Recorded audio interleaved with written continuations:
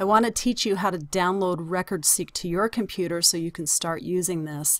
I go to Google Chrome because that's the web browser I choose to use and I would just type in RecordSeek and you can see that I previously have entered in all of these different searches with my computer because it's running so slow.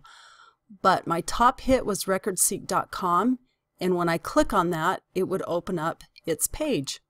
You can see down here it says all I have to do is drag the button below, which this is the button, to your browser's bookmark bar. So I would literally left click and don't let go until you get up to your bookmark bar and see that little white square with the plus sign and let it go. Now you can see I actually just created two record seeks up here, but they're ready to use now. That's as simple as it is.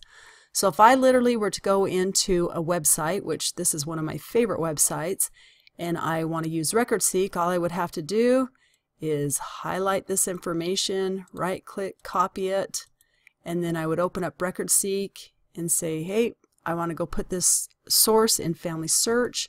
I would click on this and of course down here where it says describe the records I would hit my enter key and paste that information I just went through and copied and that's the beginning steps to working RecordSeek. I've created another video to teach you step by step how to make this happen.